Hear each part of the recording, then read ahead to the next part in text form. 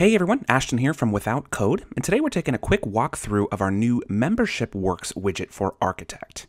Membership Works is a powerful web based membership software platform that allows you to manage and automate administration tasks and allows for a membership based platform on your website. We've received a ton of requests for a widget like this for some time on our Facebook page and other channels, and we're excited to roll it out. Now, our live demo here gives a brief overview of the features that are possible with this, but the features are very dense and much is possible. And our widget allows for a super simple integration of Membership Works onto your architect site, meaning you can easily add member signups, a member directory, a member map, and so much more right onto your site. Anyone with any sort of website, business, or organization that has members will find this widget incredibly useful. Let me jump over to the membershipworks.com website.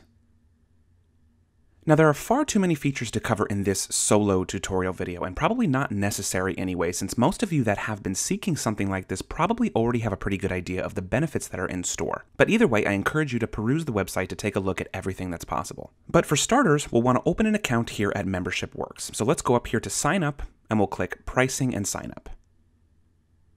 Now, for those wondering, there is a free option with lots of functions available with up to 50 members allotted, which is awesome, but beyond that, it's priced by member accounts that sign up to you with even more features to explore. But for now, let's sign up for a free account. You'll get a page asking for some starter info for your membership, so I'll just enter some info here. I'll put Ashton's membership and a sample address. And for email, I'll put ashton at musethemes.com. And we'll make a password. Great. Accept the terms and click sign up. And then it's going to ask you on what platform you're going to be incorporating the service. So we'll just pick HTML5 for now. And then it's going to take you to a place where you can watch a welcome video, but you can also just click straight to your account right here and we're taken directly to our dashboard. Now, since this is a new account, I don't have any members or anything set up. So for the sake of demo, I'm going to log out by clicking Organization Settings and then clicking Sign Out. And I'm actually going to re-log in with an account that Brandon generously already set up for me with some sample memberships and stuff already in place so we can see the widget actually functioning. Perfect. Okay, so in here now we can see he's added eight members to our organization already, which is great. And you've got a very dense list of places to explore in your account here on the left. Now, like I said, definitely too much to cover here, but I encourage you to spend some time in here and explore. But for now, I'm going to cover how we incorporate this on the architect side of things. We haven't dropped our widget onto the page yet, but before we leave here, there is a piece of information we're going to need when we do so, so let's grab it now. And that's your organization ID, and you can find it by clicking Organization Settings, and we can find it here under Organization ID. So you can remember it or simply highlight and copy. Perfect.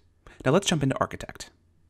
As usual, I'm working with our method theme, and I'm going to scroll down a bit here to where we have a little bit more space to work with. So let's jump into the Widgets panel.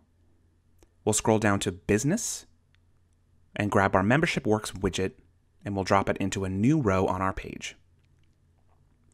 Perfect.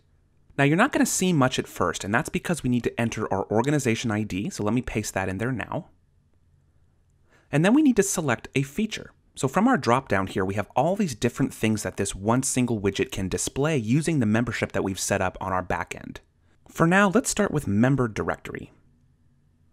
And as we do that, you can see the widget render the real member information immediately right here in the editor, which is awesome. So anything that's updated on the membershipworks.com site backend will show up right here in the widget in Architect in real time. Super handy. Let's do a page preview. We can see everything's already sitting in here nicely and smoothly. I can click into any of these, and the widget displays all the proper information right here. And I can click to close. Now with this member directory feature and all other features from the list, there is a ton of functionality. Each feature mode is a very thorough embed of the Membership Works services, so you'll find that you can engage in extensive interactions such as searches, sending messages to members, registering for events, and so much more. Let's click back to our editor. And we'll go into the Settings panel and we'll click to Member Map. And after a quick reload, we can see a totally different function now. And if we preview, we get an interactive Google map here showing the location of all of our members, all of which are clickable. It's pretty awesome. Finally, let's change the feature to Event Calendar. And yet another drastic change showing a full calendar of events as you've set it up on your Membership Works backend.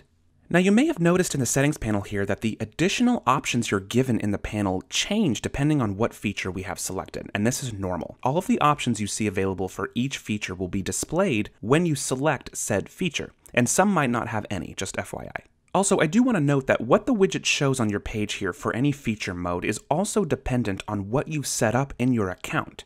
So Brandon set up a basic demo account for us here, but since we don't have certain gateway settings configured on it yet, we're not seeing certain things, such as functional member sign-up features. But all of that will come into play when the features are set up on your Membership Works account. And on that note, keep in mind that the bulk of the admin controls and settings are indeed going to happen on the Membership Works site.